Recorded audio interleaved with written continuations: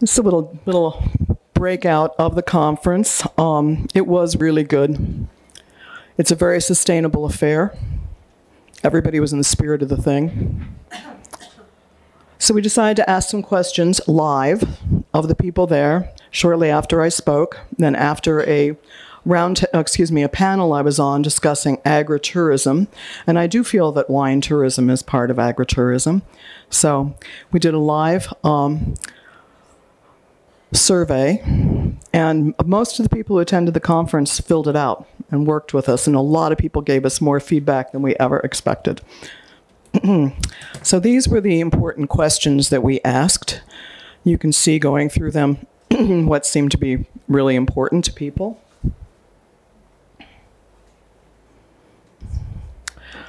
Um, stakeholder satisfaction, a road and transportation. Sound familiar? That is a big issue.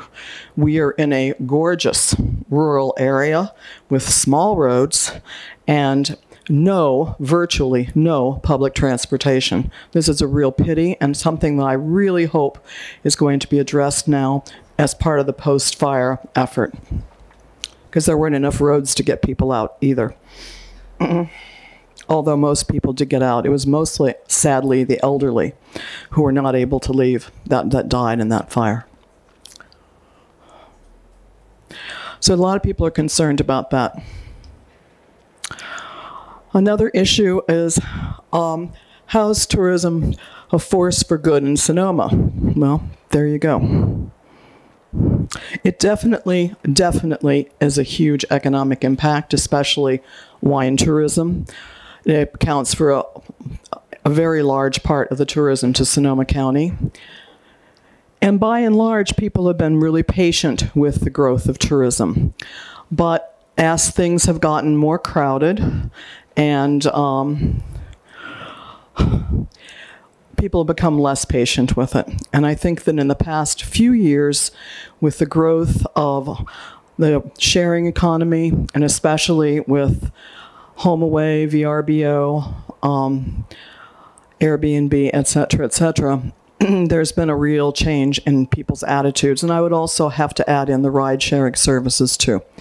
Because we've always had a lack of housing in Sonoma County. And one of the reasons people love it there is that when you come to visit, you'll see we live in a beautiful rural environment with big open stretches of land right in the middle of towns, something you just never see other places.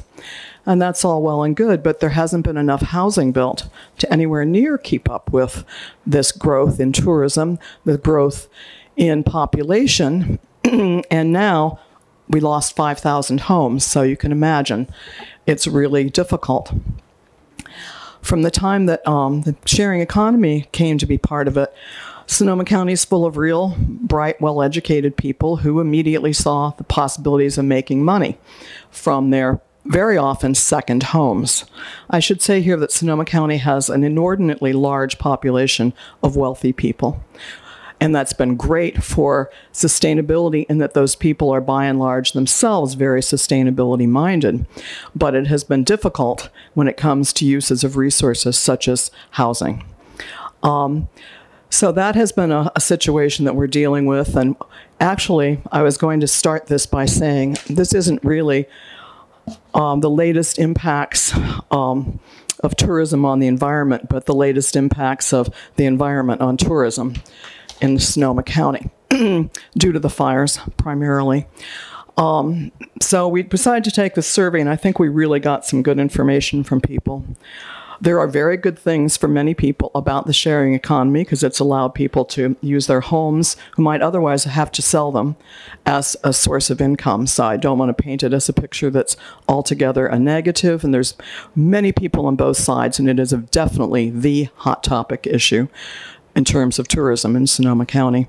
Also, you know, the taxation of homestays and such is a big topic because the um, tourism tax, the room tax, the bed tax, as some people call it, pays for a lot of things, a whole lot of things. And some of those things are the things that people in Sonoma have been using to keep the locals happy, such as the city of Sonoma in the center puts on an annual party that's not advertised except in the local paper It's not on all the uh, events this weekend. It's a private party, and it's a private party for the residents of the city. Everybody's invited, and there's really good bands and really good food, and it's a great give back to the community that has really raised goodwill a lot. Sonoma's famous for its events, and as many as possible have a really open attitude towards locals attending. So that's been a really good outreach thing for the community to tourism from the tourism department. Um, but after the fires, things got a little more compounded.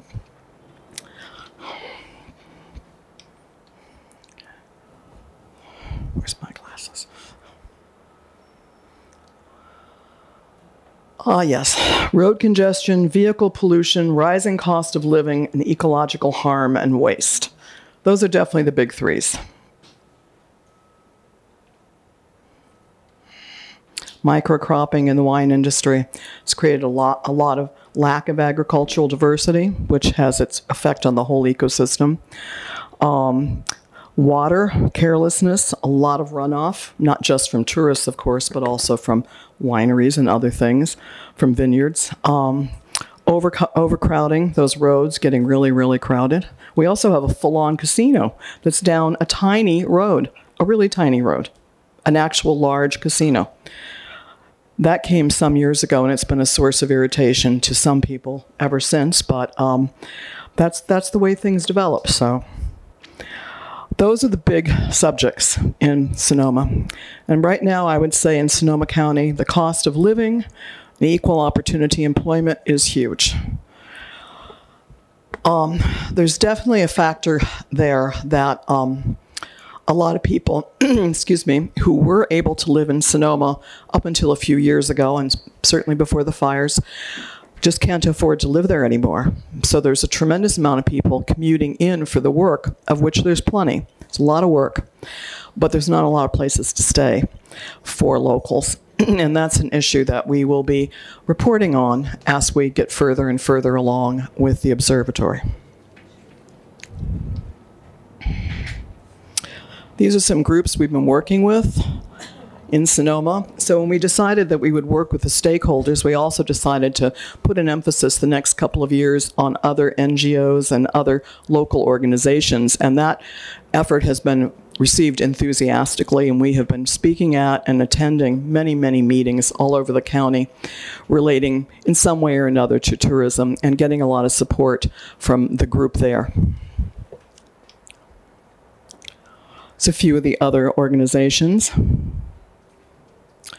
Sonoma State University has a very, very interesting independent institute within it on sustainability. And they made a decision that we concur with and are actually going to build out on with them, which is to make the the resilience post fire and fire mitigation and all the things that we're all learning so much about now in Sonoma County a focus of their work for the next few years. So we've basically committed to a five year plan to really study how tourism's been affected and also how it's grown or changed post fire.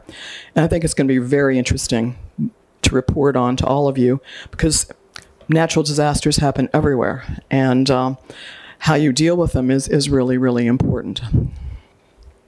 And I will say that our, our local folks and our local systems did very, very well in the fire. It was really a, bra- a bravura effort to immediately get out when the fire was so widespread. It covered a huge amount of territory, and things were just overnight because it started in the middle of the night it uh, brought to a standstill, and it crossed a major freeway just from sparks. The sparks were so hot that the flames crossed, I guess, a six lane or eight lane freeway and burned down some large businesses in big, well built buildings. So it was intense.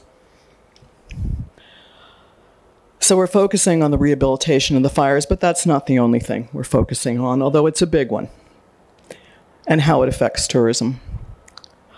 I mean, there's stores that are empty when you you couldn't touch them. People were begging for store space just two years ago. Just two years ago, Sonoma was feted on the cover of a number of magazines as the world's best tourism destination. But post fires, there've been much, much less tourism. It's not something we're, you know, putting a spotlight on, but it is definitely true. People are wary and they just don't want to go see a burned out place, which you don't see now when you go to Sonoma. But, you know, tourists don't see that. Tourists remember what they saw plastered all over the news for days. Oh, wait a minute. I do have to go back.